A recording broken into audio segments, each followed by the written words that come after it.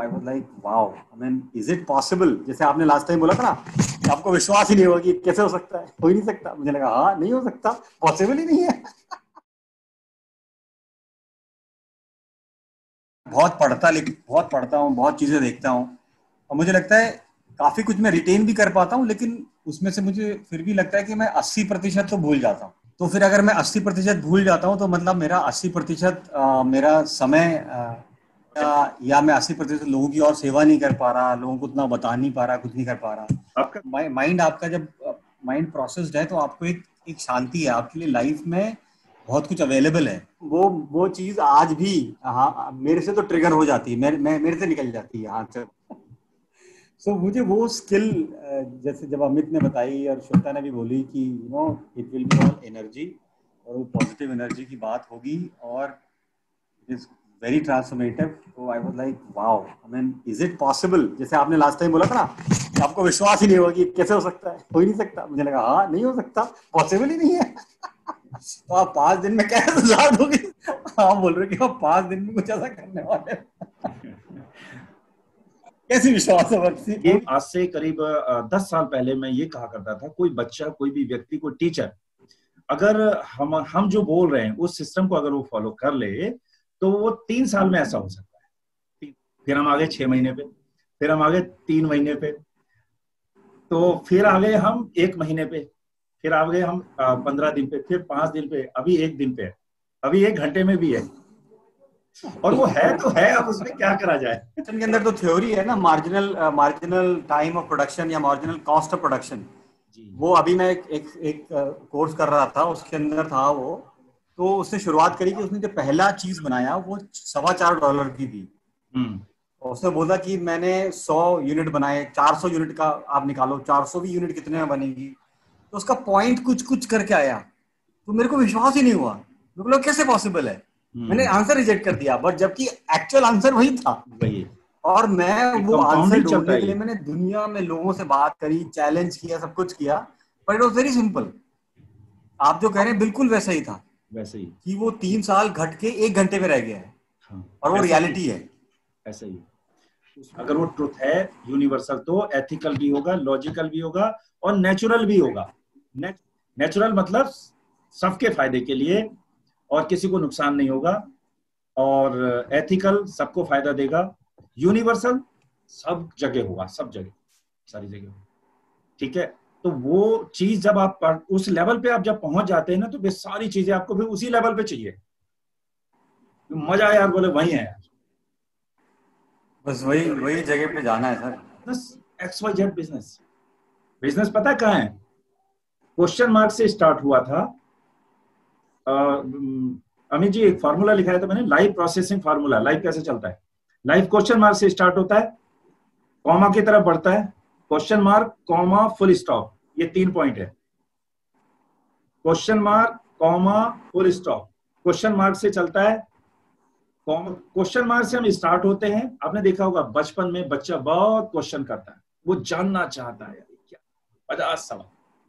धीरे धीरे क्वेश्चन कम कॉमा लगना शुरू हो जाता है. सोच में डूब जाता है.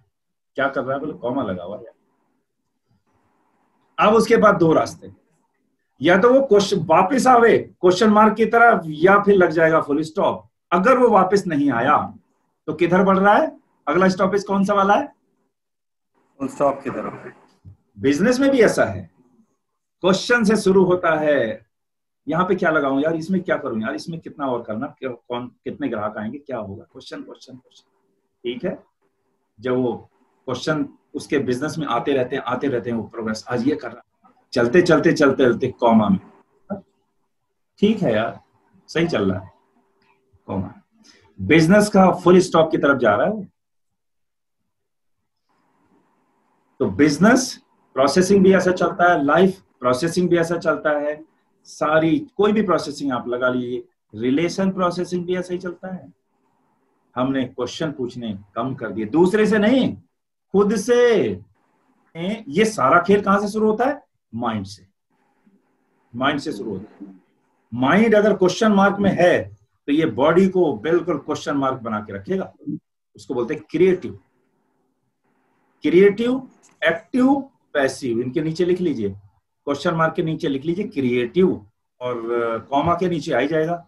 एक्टिव यानी बॉडी एक्टिव है अभी। एक्टिव आएगा। एक्टिव अभी एक्टिव है। यानी वो फ़र्स्ट लेवल से सेकंड लेवल पर वो नीचे आ गया है निचले वाले पायदान पे आ गया और थर्ड है पैसिव। Creative active passive. स्कूलों में क्या कराई जाती है सर? क्रिएटिविटी या एक्टिविटी? शुरुआती कहाँ से? एक्टिविटी। पढ़ाई पूरी हो जावे किसी तरीके से। ये वाला कोर्स पूरा हो जाएगा किसी तरीके से। पढ़ाई को छोड़ना चाहता है। ये है क्रिएटिविटी एक्टिविटी और पैसिविटी और ये सारा खेल शुरू होता है यहाँ से।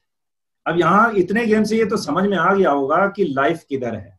अगर यूनिवर्सल लाइफ चाहिए नेचुरल लाइफ चाहिए लाइफ चाहिए, और एक्चुअली पूछो तो लाइफ चाहिए अगर तो लाइफ कहाँ पर है? आप नेचुरल हो जाएँ। लोभ से, लालच से, डर से मुक्त हो जाएँ एकदम। टेंशन से मुक्त हो जाएँ एकदम। सब ऑटो मोड पर चले। एनर्जेटिक रहें हमेशा। बिल्कुल क्रिएटिव रहें हमेशा। ये मोक्ष है कि आपको कोई बंधन बंधन मुक्त हो गया, है ना? मुक्त हो गए आप हर बंधन से, किसी भी तरह का। उसको क्वेश्चन मार्क कहते हैं। और वो जीते जी मिलता है। सबसे खूबसूरती उसमें ये है। वो जीते जी मिलता है। तो वो है क्रिएटिव क्रिएटिविटी और ये नेचुरल जितना भी ये पूरा नेचर है ना, ये सब क्रिएटिव है। ये एक्टिव नहीं है। एक्टिविटी वो है जिसमें कोई सेकंड पर्सन शामिल हो। मैंने आपसे कहा, आप ये पहना वहाँ रख दीजिए। मैंने आपसे कहा, आप ये कोर्स कर लीजिए, ये एक्टिविटी है। आपने मुझसे कहा, सर, मैं ये करना चाहता क्रिएटिविटी दोनों में अंतर है। मैंने अगर, मेरे कहने से आप ऐसा कर रहे हैं तो ये एक्टिविटी है। आप अपने कहने से कर रहे हैं, जितने भी काम दुनिया में, वो सारे क्रिएटिव है। ठीक है उसकी ज़िम्मेदारी आपकी है। उसकी ज़िम्मेदारी आपकी है। उसमें आप कोई बहाना नहीं बना सकते किसी को भी क्योंकि उसमें शामिल ही नहीं है कोई दूसरा। और वही काम अच्छे लगे हैं आप तक आज तक आपको। जो यस यस नो डाउट वही काम। अच्छे का मतलब एनर्जी दी है उसने।